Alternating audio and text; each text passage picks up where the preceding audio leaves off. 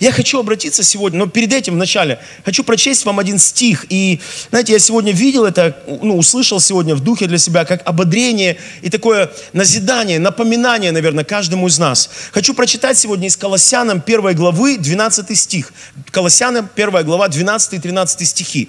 Здесь написаны такие слова. «Благодаря Бога и Отца, призвавшего нас к участию в наследии святых во свете, избавившего нас от власти тьмы и ведшего в царство возлюбленного Сына Своего.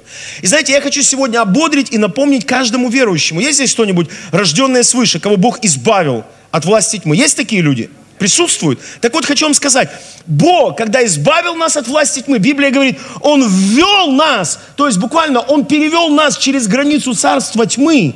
Он вместе с нами, благодаря кресту Христову, вводит нас в царство небе, возлюбленного Сына. Он делает нас соучастниками, сонаследниками. Друзья, слушайте внимательно. Не для того, чтобы мы периодически вновь возвращались на территорию царства тьмы. Аминь. Если ты уже на, цар, на территории царства жизни, царства света, царства Божьего, живи там. Начинай там пускать корни, начинай там цвести, начинай приносить плоды, умножайся, усиливайся. Потому что я хочу вам сказать, когда ты будешь возвращаться туда, друзья, там ничего нет. Хотел еще одно место читать, но не буду. Там про свиней, которые возвращаются. И собак, которые возвращаются. Поймите, друзья, вот там то, откуда Бог нас извлек.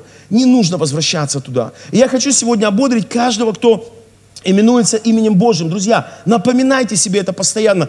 Э, я не знаю, культивируйте в своем сознании, в своем сердце о том, что вы находимся с вами в Царстве Божьем. Мы находимся в Царстве возлюбленного Сына. Нам не нужно возвращаться вновь туда.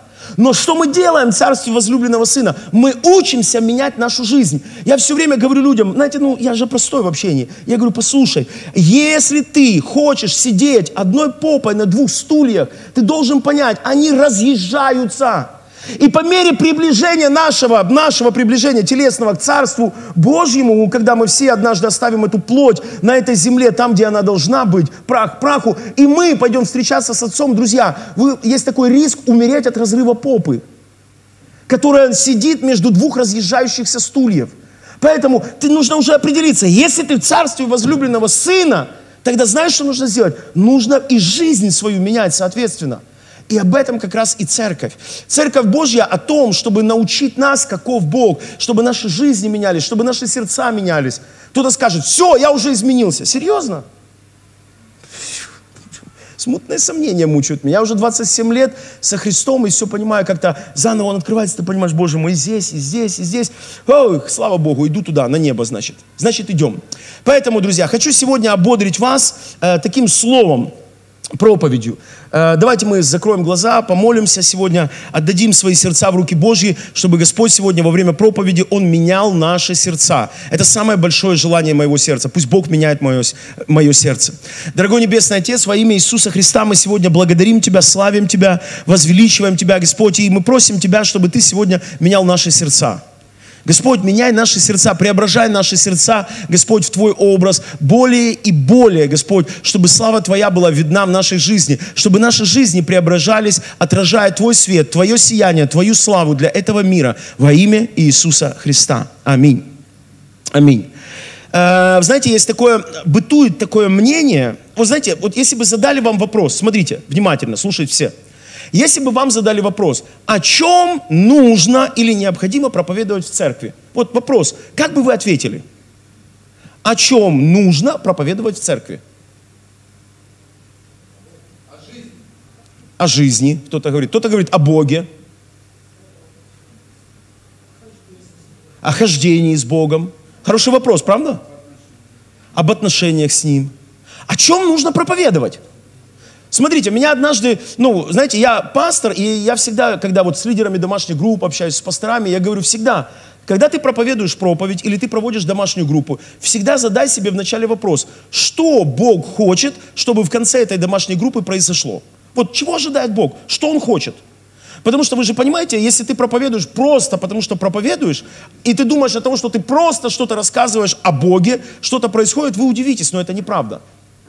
Всегда, друзья, всегда, абсолютно всегда, первым должно, что хочет Бог, чего Он хочет, что должно произойти в результате этой проповеди.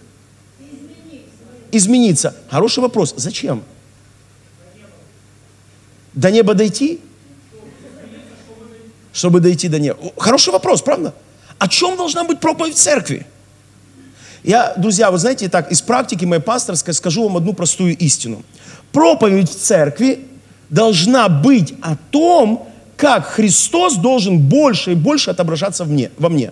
И если сегодня нужно для этого говорить об отношениях с Богом, я говорю об отношениях с Богом. Если сегодня нужно говорить о жизни, о преображении жизни, я говорю о преображении жизни. Если сегодня нужно говорить о том, э, какие дела или какие плоды должны быть, или являются э, подтверждением или проявлением того, что я с Богом, я говорю сегодня о плодах, о служении. Смотрите, все в нашей жизни должно крутиться о том, или ну, строиться вокруг того, чтобы Христос Христос отображался во мне. Аминь. И смотрите, друзья, знаете, я как-то уже недавно на проповеди говорил, почему иногда пастор или лидер домашней группы говорит, э, там, слушай, ты вот там то-то, то-то, ты согрешил, ты то-то, то-то. Кто-то думает, я знаю, что у некоторых людей возникает мысль иногда, что лидер наблюдает за ним, смотрит и думает, а что, если я там не согрешил бы, то Бога бы не было. Да послушайте, вы не поняли. Значит, вы не поняли. Когда я грешу, это означает, что где-то мое отражение Христа в моей жизни, оно начинает, знаете, так размываться, становится все менее и менее видным, менее заметным. Поэтому я и грешу. Поэтому я и попадаю на ту территорию. Но Предназначение церкви и проповеди, друзья, еще раз повторюсь, в том, чтобы этот образ всегда был на высоте в нашей жизни. Поэтому сегодня, друзья, проповедь – это не скучное время. О, классно, во время поклонения такие мурашки ходят. Сходите на концерт, я, на концерт, я не знаю, кого там, ну, бумбокс, например, да? Ой, у Лузи, Червона. У кого мурашки бегали, когда слушали эту песню в начале войны? Вы понимаете, друзья, это ж мурашки, это же не то. Я всегда говорю, либо выключи телек, либо слезь с муравейника. И мурашки перестанут бегать.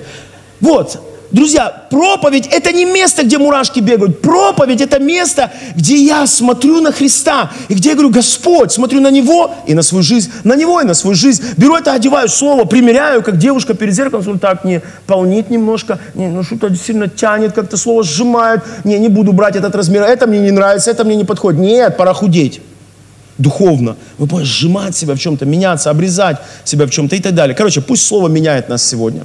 Поэтому сегодня хочу проповедовать, друзья, на очень интересную, на мой взгляд, тему. Тема звучит так. Что тебе до того? Ты иди за мною. Что тебе до того? Или можно сказать до этого. Или до того, или до этого, все равно, без разницы. Давайте прочтем интересное место из Библии. Евангелие от Иоанна, 21 глава. Мы будем читать с 20 стиха. И пусть это слово сегодня нас меняет.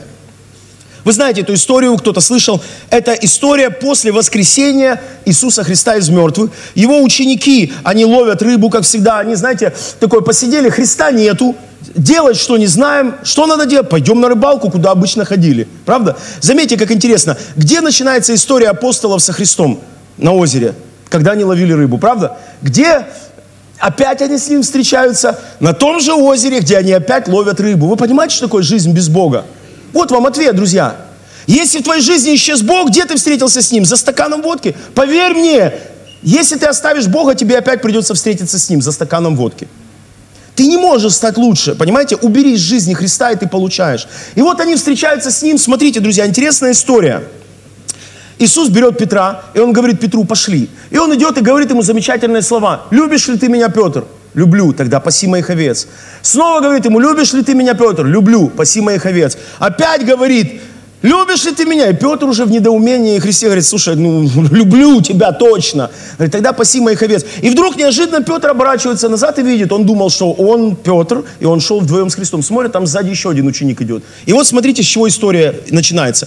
Петр же, обратившись, видит идущего за ним ученика, которого любил Иисус, и который на вечере, преклонившись к груди его, сказал, Господи, кто предаст тебя? О ком идет речь, кто знает?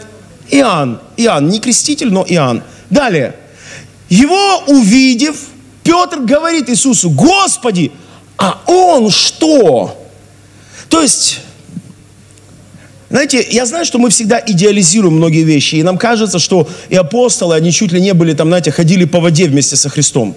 Я вам хочу сказать, друзья, примерно эта история выглядит так. Петр думал или подумал, что из всех одиннадцати оставшихся в живых, нет подобного мне. Нет подобного мне. ну и так далее. И Петр, вот он, и тут он оборачивается и смотрит, еще есть, оказывается, кто-то подобный ему. И он ревновать, конечно, начинает. Он начинает говорить, а что ему, что? Смотрите, Христос говорит ему уникальнейшие слова. Он говорит, любишь ли ты меня? Да, паси моих овец. Вы понимаете, что он в этот момент, он передает церковь, он передает невесту Христа Петру, и Петр в этот момент принимает эту невесту, он начинает ревновать. А что он? А что он? А что он? И дальше читаем, 22 стих. Иисус говорит ему, если я хочу, чтобы он прибыл, пока приду, что тебе до того? Ты иди за мною. Вы знаете, что я обнаружил? Если мы говорим, друзья, о том, что проповедь или жизнь христианина после покаяния – это преображение в образ Христа, многогранное преображение, состоящее из множества компонентов, я хочу вам сказать, друзья, не ошибайтесь или не удивляй, вы не ошибетесь и не удивляйтесь тому, что у некоторых из нас, а я бы сказал даже у всех, у всех абсолютно у нас будет момент, когда мы будем размышлять, а может быть принимать решение даже о том, следовать нам дальше за Христом или нет. У кого-то было такое, что вы отходили от Бога? Бывало. Вы думаете, друзья, это было неосознанное, спонтанное такое решение? Я, я вообще ни при чем, это ж, я же не отходил. Ну так, планета повернулась не в ту сторону. Послушайте, я вам скажу, открою одну простую правду. Абсолютно все люди, которые однажды отошли от Бога, они знают, если глубоко заглян, заглянут в свое сердце, они знают, что это было осознанное решение. Да, оно не было решением одного дня, да, оно не было сиюсекундным, минутным решением, но это было постепенное, э, постепенный отказ, или точнее так, результат постепенного отказа преображаться в образ Христа. То есть в результате, когда я говорю, ну и здесь я нормальный, и здесь, и здесь, и здесь, в какой-то момент времени ты понимаешь, что тебе Бог уже и настолько-то и не нужен. И смотрите, друзья, в этот момент, в этот момент мы находим интересные, я специально записал для себя, мы находим интересные моменты. Смотрите, мы начинаем иногда смотреть в такие моменты на обстоятельства, которые не соответствуют нашим ожиданиям. И знаете что? Мы говорим, ну, Бог, где же ты? Что люди на самом деле в этот момент говорят? Смотрите, они говорят, Бог, обстоятельства моей жизни не настолько хороши, как я ожидал, что они должны быть, если я последую за тобой. Кому из вас нравится сегодняшняя война? Никому, правда? Никому не нравится? У меня вопрос, так где же Бог? Знаете, сколько людей по этой причине за это время отошли от Бога?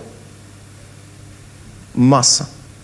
Поверьте мне, масса людей, которые приткнулись, внимание, они приткнулись на том, что обстоят, где же Бог?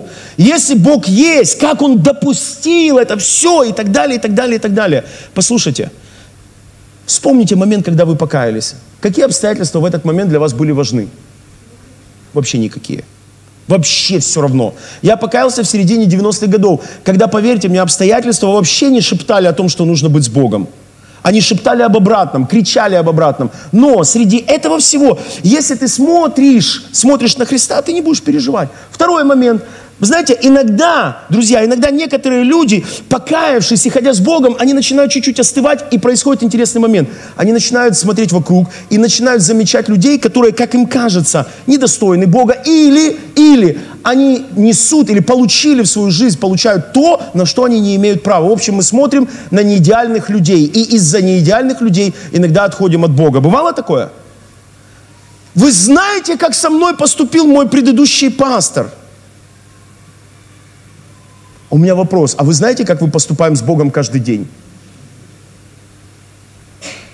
И мы по этой причине, нам кажется, что эта причина, она достаточна для того, чтобы отойти от Бога. Что говорит Христос? Он говорит, что тебе до того? Ты иди за мной. Сестра, что ты перестала ходить в церковь? Пастор, вы знаете, вот, вот я с этим человеком столкнулась, и я поняла, и вот если верующие такие, Послушайте, все верующие, слушайте внимательно, ровно такие, как ты. Именно по этой причине тебе так дискомфортно в этой жизни. Еще раз повторяюсь, все, абсолютно все до одного верующие в этом мире ровно такие, как ты. Они ровно настолько хорошие и ровно настолько плохие. И если ты притыкаешься из-за каких-то людей на своем, в своей жизни с Богом, значит пришло самое время на кого посмотреть? На себя а потом на Бога и сказать о том, что Господь, Лучше я буду следовать за тобой. Еще одна причина, друзья. Мы иногда притыкаемся, люди иногда притыкаются, не мы, мы, вы нет. Э, люди иногда притыкаются на Боге, потому что им кажется, что они чего-то недополучили. Вот они должны были получить, ну вот прям, ну, ну все шептало о том, что я должен это получить, но недополучил. И мы говорим, все, все, все, хватит, в конце концов, сколько можно уже? Я уже устал жить в этом. Бог, я зачем к тебе пришел? Вот правда, а зачем ты к нему пришел? Хороший вопрос, да? А зачем ты к нему пришел? Я пришел и уже 30 лет иду за ним, чтобы у меня была семья классная, а у меня вообще семьи нет. Ну, ну, как бы, послушайте, если Бог, если ты пришел к Богу из-за семьи, Он даст тебе семью, неужели вы думаете, что Он настолько глупый и не понимает, что будет следующее после этого? Вы от Него отойдете сразу, потому что вы получили то, чего вам хотелось. А что Бог хочет? Бог хочет, чтобы мы преображались в Его образ. Еще есть одна причина, по которой люди иногда прекращают свое хождение с Богом. Нам иногда кажется несправедливой сама жизнь. Вот сама жизнь, она такая несправедливая. И вот здесь у меня не получилось, и вот здесь, и я так мучаюсь, и мне так тяжело, и мне так то, и то, и то, и то, и то, и Бог все, все, хватит уже. Слава Богу, друзья, что Бог не такой. Вот честно, ну слава Богу, что Он не такой. Я вообще думаю, думаю, сколько раз Бог бы... Вы знаете, если бы Бог каждый раз, когда люди Его предают, махал бы на нас рукой, слушайте, ураганы бы и штормы в этой жизни не прекращались. У нас бы, понимаете, ветер был бы все время и всегда, шквальный, штормовой ветер был бы, если Бог махал рукой, вот так, понимаете, так короче, так короче, так короче. Вы понимаете, у нас атмосфера вот так вот носилась. Понимаете, вот в чем дело. Бог же не махает рукой, потому что жизнь несправедлива. Он смотрит все равно вглубь, он смотрит чуточку глубже. В общем, какой урок, друзья, какой урок очень важный мы должны вынести из этой истории? Запомните, самая большая причина, самая большая причина, как ни странно, все я назвал это такие параллельные, но самая большая причина заключается в следующем. Когда Бог говорит, ты иди за мною, я вам открою страшную тайну. Большинство христиан, они понятия не имеют или имеют весьма смутное представление, что означает идти за Богом. Вот в чем вопрос. Смотрите, это очень легко проверить. О чем мы молимся? Кто был внимательный на прошлой проповеди, помните, я сказал, что молитва – это самый важный индикатор наших отношений с Богом, веры, правда? Если я верю действительно Богом, я буду молиться – Вопрос, о чем молится большинство верующих людей? О своих нуждах. О том, что припекло, о том, что болит, о том, что тяжело и так далее. Ну, честно, давайте будем честными. Об этом молимся. И смотрите, у многих верующих людей возникает ложное представление о том, что идти за Богом – это и есть как раз решать свои проблемы с помощью Бога. То есть буквально, я беру, пастор Виталий, можно вот? Представьте себе, что вот смотрите, такой замечательный, красивый, он Иисус – и я прихожу к этому Иисусу, я говорю, Иисус, я тебя так люблю, спасибо, что ты прости мне мои грехи. Он прощает мне мои грехи. И потом я говорю, Иисус, я хочу идти за тобой, куда бы ты ни пошел. И вот мы начинаем наш земной путь вместе с Иисусом. Смотрите, идем, и Христос начинает идти вот туда вправо идешь. А я говорю,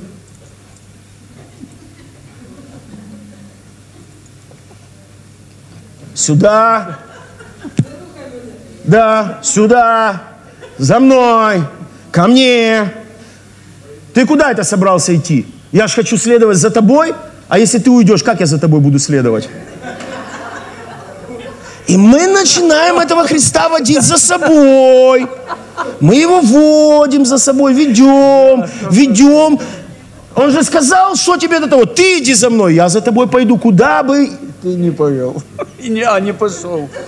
А идешь ты сегодня, Христос, туда. Туда я. Туда, куда ведут меня мои нужды. Тебя. Вы, вы понимаете, мы сделали Христа вообще. Знаете как, э, когда ты идешь на рыбалку, например, на рыбалку, есть определенные отличительные места. Ты смотришь камыши и говоришь, ага, вот здесь может быть такой, такая рыба. Ты смотришь глубина, ага, здесь такая рыба может быть. Знаете, есть такие при, признаки. И вот знаете, как, как, заме... как, э, как для многих верующих людей, какая христианская жизнь, признаки христианской жизни. Да, где рыбное место? Там, где их нужды. Там, где наши нужды, там больше Бога оказывается. Но это же неправда. вы же понимаете, что, ну, давайте честно, я специально вам такую наглядную картину, вы же понимаете, что когда Христос говорил эти слова, Он говорит, ты иди за мной, что Он имел в виду, скажите?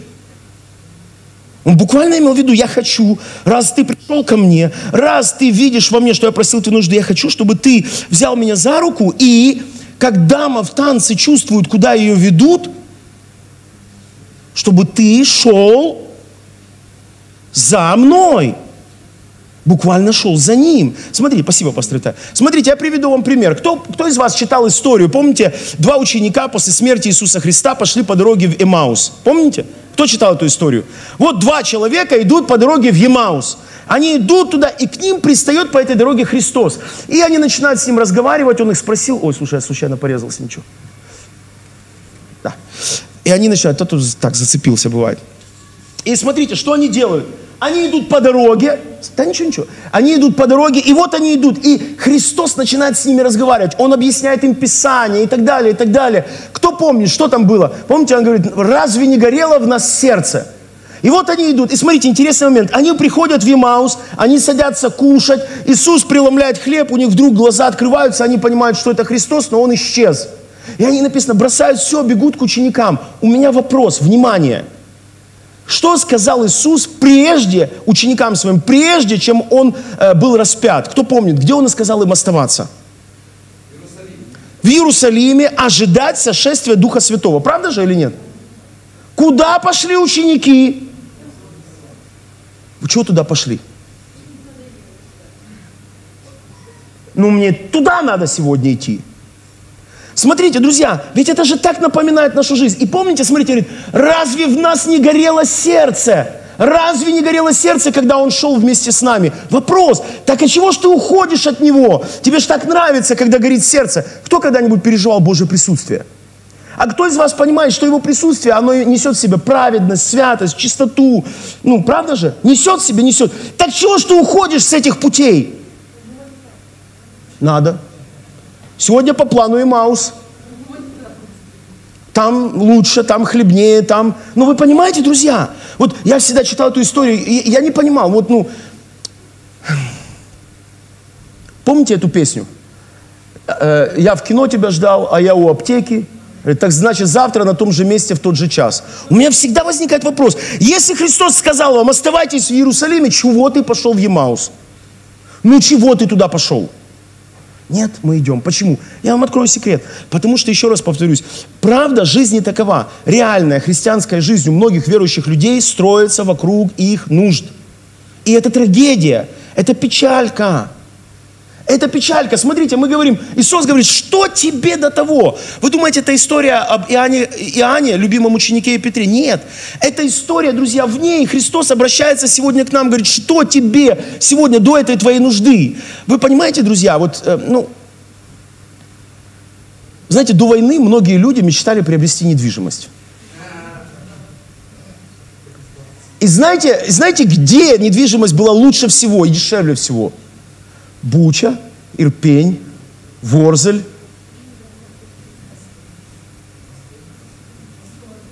Гастомель. Ну, вы понимаете, о чем я сейчас говорю? То есть вы понимаете, Христос говорит, да что тебе до того? Говорит, иди за мной. Ты начни следовать за мной. Начни идти за мной. Начни двигаться за мной. Начни следовать за мной. Это не значит еще раз, что это плохо. Это нормально. Я просто привел как пример, чтобы вы поняли. Не всегда, друзья, пути наших нужд и восполнения наших нужд. Есть Божьи пути, понимаете? Но не всегда. Нам нужно всегда координировать свои пути с путем Божьим. Господь, чего ты хочешь? И знаете, я, глядя на эту историю, я записал для себя, что означает следовать за Христом вообще, как это понять? Что такое для христианина, если уже говорить об этом откровенно, что такое следовать за Христом? Смотрите, следовать за Христом означает проживать всю свою жизнь перед Ним и идти рядом с Ним тем путем, которым Он идет. То есть буквально мне нужно сказать, Господь, ты видишь мою жизнь, вот она такая. Кто-то говорит, я должен быть идеальным. У тебя не получится быть идеальным, это невозможно. Но хотя бы проживай свои грехи даже перед Богом. Проживай свои ошибки перед Богом. Проживай свои падения, но перед Ним. Библия говорит, праведник семь раз упадет, но встает. Почему мы встаем? Потому что Христос. Потому что мы перед Ним проживаем свою жизнь. А как проживать перед Ним жизнь? Нужно научиться идти Его путем, то есть тем путем, которым хочет идти Он. Мы все прекрасно понимаем и знаем, я не знаю, как вы, но я читаю в Библии, что Христос всегда служил людям. Кто обратил внимание, что Христос делал на, на свадьбе в Кане Галилейской? Служил. Что Он делал в доме э, этого Захея, куда его пригласил Захей? Служил. Что он делал в доме фарисея, который пригласил его туда, и когда Мария Магдалина пришла? Служил. Мы все знаем, например, что нужно служить, но когда дело доходит до нашей жизни, мы говорим, ну, у меня сейчас на это нет времени. И в этот момент ты уже не идешь его путем. Вы понимаете, ты уже идешь каким путем? Своим. Своим начинаешь идти, путем. Когда ты говоришь, ну, а у меня так. А я считаю так, послушайте, друзья, ну, не, ну как бы объяснить вам, в своей величайшей любви, величайшей любви, это не значит, что Бог, конечно, отталкивает такого человека. Бог никогда не будет отталкивать, нет. Но Бог просто говорит тебе, слушай, ну что ж ты без меня мыкаешься, горемыка по жизни? Что ж ты бродишь по этой жизни и все кричишь, ау, Господи, ты где? Вот я здесь. Я там, где мне должно быть. Он с 12 лет там, где должно ему быть, вы понимаете? И он все время идет там, и он там, где ему должно быть. Это мы с вами ходим, ау, Иисус, ты куда ушел от меня? Говорит, я никуда не ушел от тебя, у меня вопрос к тебе. Ты куда ушел от меня? Смотрите, у Христа есть простые, понятные пути. И нам нужно следовать этими путями. Например, как вы думаете, Христос, помните, говорит, когда я был голоден, вы меня не накормили. Скажите, пожалуйста, если ты видишь голодного, куда пошел бы Христос? Кормить голодного. Куда тебе пойти? А у меня занято сейчас время. Он говорит, я был наг, и вы не одели меня. Он говорит, я был в темнице, вы не посетили меня. А у меня времени нет. Понимаете, мы хотим ходить путями, но давайте будем честными, мы хотим ходить путями с Богом, но на своих каких-то условиях, основаниях. Так не будет. Вы не поняли. У Бога один из его атрибутов, один из, запомните, неотъемлемый атрибут Бога. Он никогда не изменится в этом атрибуте. Он суверенный. Что означает? Его воля такая, какую хочет видеть ее он. Я не знаю, почему его воля именно такая, но именно такую он выбрал себе волю. И он этой волей э, существует на этой земле. Поэтому, когда Бог видит голодного, Он его накормит, когда Он видит нагого, Он его оденет, когда Он видит человека в темнице, Он его посещает. Почему? Не потому, что Он добрый, это Его сердце, это Его жизнь, это Его суверенная воля. И какими путями Он ходит? Он идет этими путями. Вы понимаете? Смотрите, я хочу сегодня вот э, для вас дать такое короткое, я записал себе шесть пунктов, что означает следовать за Богом. И я хочу раскрыть его на основании тоже одного места из Писания. Откройте, пожалуйста, Евангелие от Матфея, 10 глава, 38-39 стихи. Всем известные стихи. Матфея 10, 38, 39. Да? Смотрите.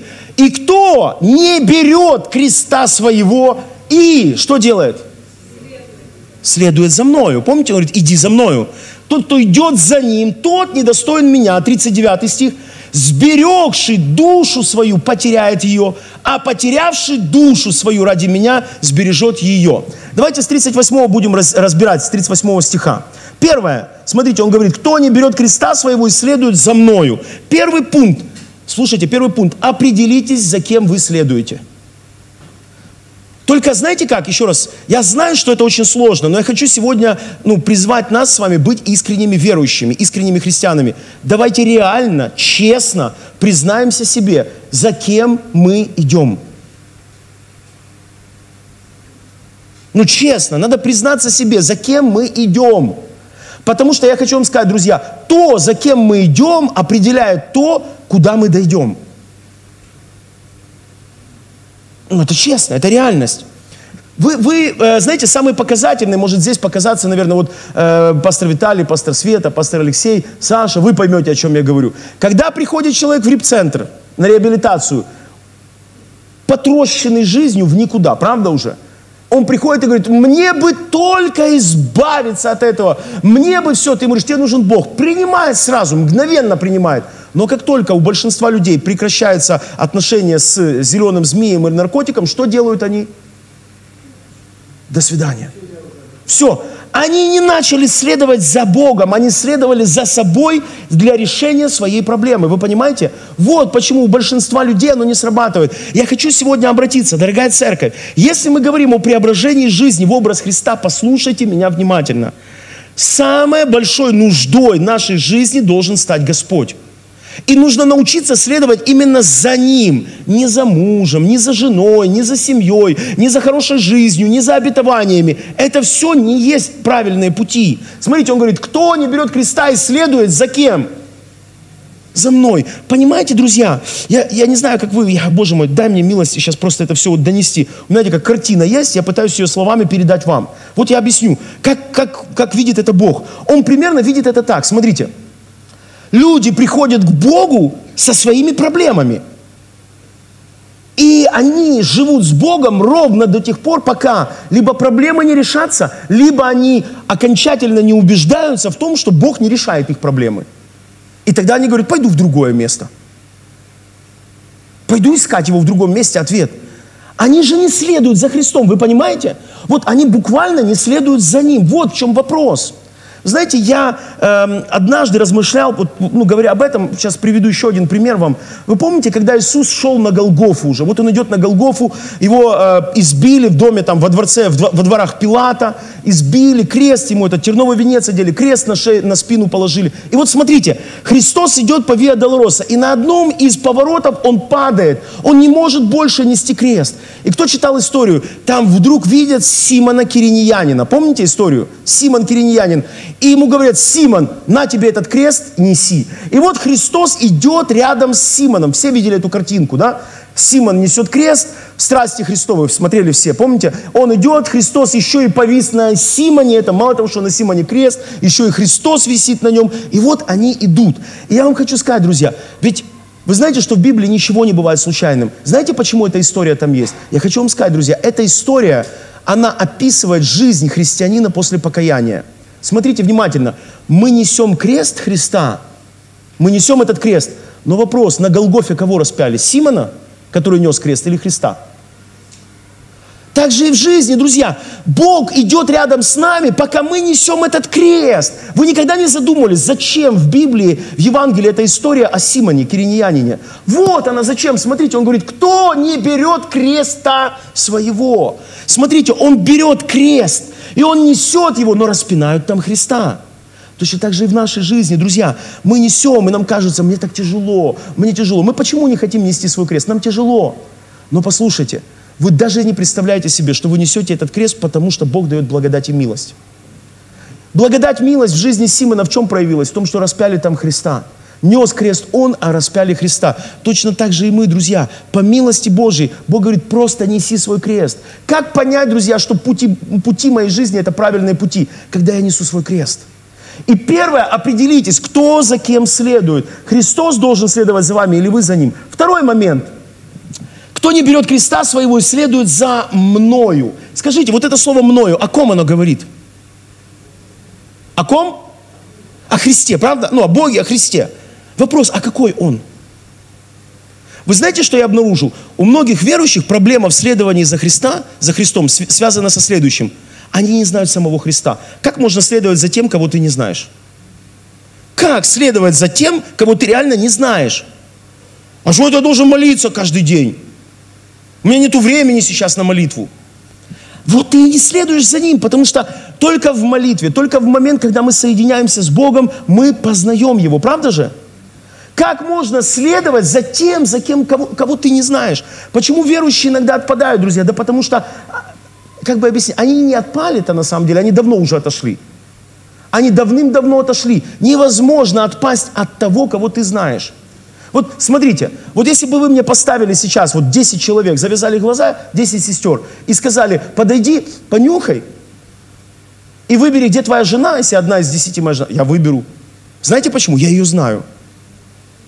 Я ее знаю. Я знаю, я знаю, какие у нее на ощупь руки. Я знаю, какие у нее на ощупь волосы. Я знаю, как она пахнет. Я знаю, как она говорит. Я ее интонацию услышу, даже если будете искажать голос. Почему отпадают некоторые люди? Почему не следуют за Христом? Еще раз говорю, как можно следовать за тем, кого ты не знаешь? Почему люди отпадают? Почему они не знают Христа? Да потому что мы настолько привязываемся к этой жизни, понимаете? Мы привязываемся к обстоятельствам этой жизни. Мы настолько привязываемся, что нам кажется, что мы так всю жизнь будем жить. Вы знаете, у каждого человека есть э, такой тревожный звоночек в жизни. Один из тревожных звоночков, слушайте внимательно, это когда вы однажды, потеряв работу, звоните куда-то и говорите, я хочу устроиться к вам на работу. Они вам задают вопрос, сколько вам лет? Вы говорите там 57, они говорят, вы нас не устраиваете, до свидания. И вы в, в смысле? А вы не поняли, что вы стали старыми. Вы не поняли, что не, ну, а 30 было, я же захотел устроиться на работу, поменял работу, пошел устроился. Все, тебе 57, до свидос. Извините, кому 57 и больше, я ну, не о вас сейчас речь, вы поняли? Ну, реалии жизни таковы. Ты не можешь привязаться к этой жизни, вы понимаете? Ну, к этой жизни не стоит привязываться. Потому что, когда ты привяжешься к этой жизни, однажды у тебя будет проблема. Кто понимает, о чем я сейчас говорю? Это же звонок о том, что ты для вечности должен жить. Вы не представляете себе, я, э, даже есть такой фильм, кто смотрел старый советский фильм «Старики-разбойники» с Евстигнеевым, кто-то смотрел или нет? Смотрел кто-то или нет? Посмотрите для интереса. Когда ему, знаете, он говорит, я работать хочу, ему говорят, вот вам сервис, и на пенсию. Он говорит, я работать хочу, ему говорят, на пенсию. Он говорит, я могу работать на пенсию. И он не знает, что делать. Он не понимает, что делать. У него вся жизнь рухнула. Знаете почему? Потому что мы всю жизнь привязываемся к жизни. А привязываться надо к кому? Но невозможно привязаться к тому, кого ты не знаешь. Кто-нибудь слышал из вас истории о том, что э, часто бывает так, что семьи э, моряков дальнего плавания, дальнобойщиков, зарабичан, которые уезжают на смены, часто распадаются? Кто слышал такие истории? Что очень сложно поддерживать отношения на расстоянии. А кто мне скажет почему? Потому что очень сложно узнавать человека на расстоянии, особенно когда нету связи и так далее. Вы понимаете? Просто приходит Здравствуйте, женщина, я вас видел. Ну невозможно следовать за Христом, которого ты не знаешь. Третий пункт, который я вижу в этом стихе, 38 стихе, ой, 39, простите, можно 39 стих, 39. «Сберегший душу свою». Кто мне скажет, что означает слово «душа»? Жизнь, правда? Так вот, я записал, следовать за Богом, друзья, нужно не только верой и учением, а следовать за Богом нужно жизнью своей. То есть, что это означает? Вы знаете, я заметил, многие верующие люди, мы вникаем в учение, но забываем после этого еще вникнуть в себя. Знаете, я страдал, я помню однажды, слава Богу за мою мудрую жену, она мне однажды помогла. Знаете, бывает такое, может у кого-то тоже было, я не знаю, ну, у меня так было. Знаете, ты посмотрел в журнале какой-то, смотришь, такой человек красиво в костюме каком-то такой, знаете, ну, классный. Там вот модно было недавно еще клетка такая, знаете, большая, клетчатый костюм. И я жене как-то помню, говорю, я тоже хочу себе такой костюм. Слава Богу за мудрую жену. Она говорит, послушай. Она говорит, ну ты себе купишь этот клетчатый костюм. И что? Говорит, будешь как Карлсон. Он, говорит, тот, на ком это костюм, он же высокий и худой. А ты другой. Но это не значит, что я плохой, она меня любит. Просто на меня этот костюм не подходит. Понимаете, друзья, мы часто слышим слово, и мы говорим, о, да, аллилуйя. Да ты прежде чем сказать аллилуйя, ты вначале задай себе вопрос, а так ли у тебя с этим? Может, потом ты скажешь, Господи, прости, вместо аллилуйя. Понимаете, нужно одевать на себя. Смотрите, он говорит, душу свою, жизнь. Мы почему не можем следовать за Христом? Мы жизнь не хотим менять. Мы хотим прийти ко Христу, и чтобы вот мы спаслись, Господь, а жизнь у каждого врозь. Так не бывает. Вы понимаете, так не может быть. Мы следовать за Ним. Помните пример с пастором Виталием? Следовать за Ним – это жизнью следовать за Ним. То есть ты будешь падать на этом пути, ты будешь ошибаться. Вставай и вновь следуй за Ним, но меняйся, преображайся. То есть, что ты в конце жизни станешь идеальным? Нет, ты не станешь идеальным в конце жизни, но хотя бы ты прошел эту жизнь с Ним. Ты не пытался сберечь эту душу для себя, потому что он говорит, ты все равно ее... Что это означает? Смотрите, я не знаю, это же Библия. То есть ты всю жизнь делал, делал, делал, делал, делал, делал, для себя жил, жил, жил, а потом приходит смерть и все. Вы понимаете, что такое смерть? Это все. То есть все, и дальше нечего менять. Тебе дальше нечего менять. Ну, ты не можешь менять уже ничего. Ты ничего не можешь изменить уже. Вот проблема. И когда ты ничего не можешь изменить, ты берешь, кто мне скажет, когда наступает смерть, что умирает? Тело, а душа и дух остаются живыми. То есть все, что мы чувствовали, все, что мы знали, все, что мы помнили, все, что мы видели, все, что мы переживали, все, что мы простили и не простили, все, что мы благословили и прокляли, все, что мы обрадовались и огорчились, все это мы возьмем с собой и вот так обнаженными придем перед Богом, предстанем. И что тогда? Он говорит, ты потеряешь душу свою. Ты ее потеряешь все равно. Послушайте, люди не понимают, неверующие люди, но им-то простительно, неверующие люди не понимают, зачем мы ходим в церковь, зачем мы молимся, зачем мы читаем Библию. Они не понимают этого реально. Почему? Потому что они не понимают, как можно, находясь в здравом рассудке, пытаться жить какой-то чужой жизнью. Живи своей жизнью, живи для себя, живи, получай от жизни то, что тебе нужно. Я вам хочу сказать, друзья, я могу получить многое, но в конце его все равно потеряю. А останется со мной ровно то, где я позволил себе такую роскошь жить жизнью Христа. Смотрите, он говорит, потерявший душу свою ради кого? Сбережет ее. Ровно то, где мы в нашей жизни жили для Христа, позволили себе роскошь, Ему отражаться в нас, проживать Ему свою жизнь, ровно это и становится нашим богатством – это становится нашим богатством, нашим наследием, с тем, чем мы предстанем перед Христом. И еще одна вещь, которую хочу обратить ваше внимание, на которую, точнее, хочу обратить ваше внимание здесь. Смотрите, четвертое, можно вернуть назад, пожалуйста, 38 стих. Четвертое, здесь написано креста. Креста. Что означает крест? Крест – это образ жизни, в котором важным для человека есть то, что важно для Бога, а не для него. Вот и все. Что такое мой крест? Кто-то говорит, мой, мой муж, который пьет, это мой крест. Нет, ваш муж, который пьет, это проблема, которую надо решать с Богом. Мои дети – это мой крест. Он может их и забрать. Как насчет? О, не, не надо, Господи. Тогда что такое крест? Крест, друзья, еще раз, это жизнь, которую мы живем для Него. Смотрите, вернемся к истории Симона Кириньянина. Скажите мне, 40-градусную жару нести крест, это тяжело или легко? Тяжело. Вопрос, внимание, к вам. Так чей крест нес Симон? Чей крест он нес? Христа, но нес его он. Точно так же, друзья, Бог, Он хочет, чтобы мы жили эту жизнь, но не для себя буквально проживали, а проживали эту жизнь для Него, чтобы Он, как бы, как вам сказать, вот, вот Он сейчас, вот если вселился, Он бы сказал, сейчас, к примеру, я хочу, чтобы ты пошел детям служил. А, пошел детям служить. А что ты хочешь? А я на пляж хочу.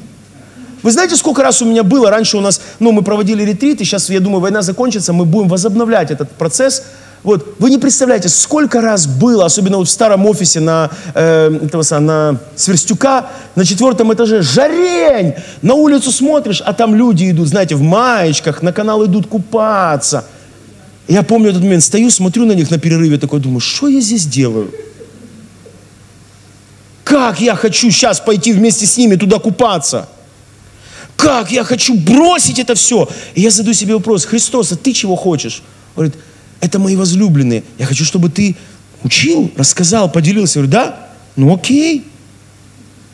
И ты, и ты понимаешь в этот момент, борьба происходит, ты понимаешь в этот момент, ты делаешь то, чего хотел бы делать Христос. Вот что означает, друзья, крест. Крест, крест, это когда я позволяю Христу, то есть я позволяю своей жизни нести Его крест. То есть буквально я выступаю всего лишь навсего оболочкой, которую использует Он для того, чтобы творить то, что хочет делать Он. Вы можете себе представить, друзья, жизнь апостола Павла? Представьте, какая увлекательная жизнь. Сколько человек путешествовал. А как славно закончил путешествие в Риме, столице мира. Ну, правда, да, голову отрубили. А так в целом, сколько попутешествовал человек? Нежданчик, да, такое, э, называется, страховой случай произошел с человеком.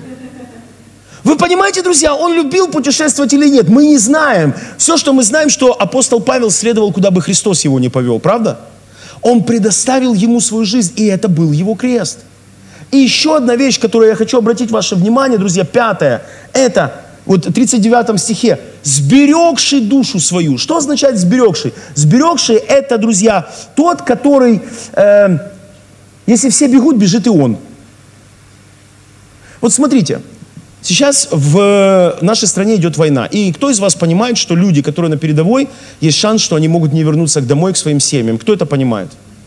Тогда я задам вопрос, почему э, некоторые люди не хотят сознательно, я сейчас не говорю, друзья, еще раз о каких-то объективных факторах, вы поняли, не надо вгонять себя в самоосуждение. Я говорю сейчас о других факторах. Почему некоторые люди не хотят идти туда? Кто скажет? Они не хотят потерять свою жизнь. Они хотят ее сберечь, правда? Смотрите, то есть есть места, куда люди идут, а есть места, куда другие люди не хотят идти, потому что хотят сберечь свою жизнь. Так вот, послушайте, я что обнаружил? Я обнаружил, что многие верующие люди, они хотят прожить свою жизнь так, чтобы ни в чем ни, никакого не было им ущерба, вы понимаете? Я вам открою один секрет. Если вы хотите хотя бы один день жить, прожить жизнью Христа, я не знаю, куда Он вас поведет. Я не знаю, что вы будете делать. Я не знаю, чем вы будете заниматься, но я точно знаю одну вещь. В течение этого дня вас ждет ущерб. Невозможно служить Богу без ущерба. Что такое ущерб? Без причинения самому себе вреда. Кто когда-нибудь был пастором, тот вообще поймет, о чем я говорю. Это вообще какой-то, знаете, такой называется отряд самоубийц. Потому что, что бы ты ни начал делать, ты будешь неправ. Вы знаете, мне нравится быть пастором, это интересно. Это интересно, интригующе. Ты проповедуешь, что-то говоришь сильно громко. Начал тише проповедовать, сильно тихо, другие говорят. Посередине проповедуешь, все равно не так. Вот, вот честно говорю, я вообще никогда не буду проповедовать так, как надо. Я уже давно это понял. Я просто проповедую так, как вот, ну вот я проповедую, все, принимайте или не принимайте. По-любому это ущерб. Вы понимаете, что ты, ты всем мил не будешь. Знаете об этом? Я знаю, что у меня голос сильно дребезжащий. Хотелось бы, чтобы был ниже. Ну нет у меня голоса ниже, я не умею, простите. Потому что, и я не буду даже пытаться делать, потому что как только сделаю голос ниже, найдется кто-то, скажет, не, хотелось, чтобы повыше был бы. Это же ненормальная штука, вы понимаете, друзья. Поэтому, что сберегать свою душу? Надо понимать, что потерять. И что такое потерявший, шестое, друзья? Это идти за Богом даже тогда, когда другие перестают, находя при этом объективные причины. Вы знаете, что есть объективные причины, чтобы не служить Богу? Их масса, их можно найти всегда. Но я хочу вам сказать сегодня одну простую истину. Друзья, еще раз. Как называется проповедь? Что тебе до того? Ты иди за мной. Иди за мной. Я знаю, что точно кто-то в конце этой проповеди подумает, не, ну это слишком, а я вам отвечу тема этой проповеди. Что вам до этого? Вам-то что до этого? Я же не для вас проповедовал, а для себя, если вы не в курсе. И для своей семьи еще. Вам-то что до этого? Вы следуйте за ним. И если что-нибудь из этой проповеди окажется полезным для вас, так вы послушайте. Помни всегда, у следования за Христом есть своя цена – крест. Последнее, друзья. Евангелие от Иоанна, давайте откроем еще раз, 21 глава, 22 стих, с которого мы начинали. Вот. Иисус говорит ему, Петру, если я хочу, чтобы он прибыл, пока приду, что тебе до того? Ты иди за мной. Я сегодня хочу сказать, друзья, мы говорили сегодня о следовании за Богом.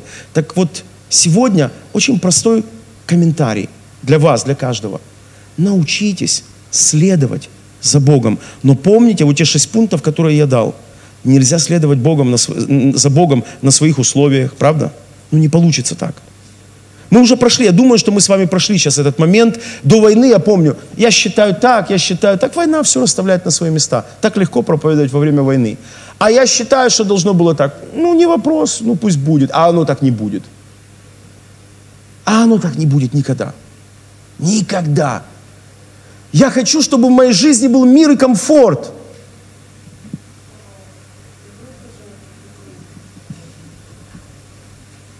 Самое интересное – что те, которые сбежали, я сейчас не говорю сбежали, уехали, переехали.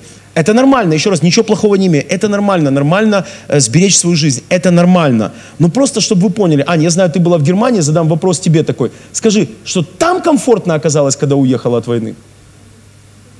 Все девушки абсолютно что? Плачут. Хочу. И там дискомфортно.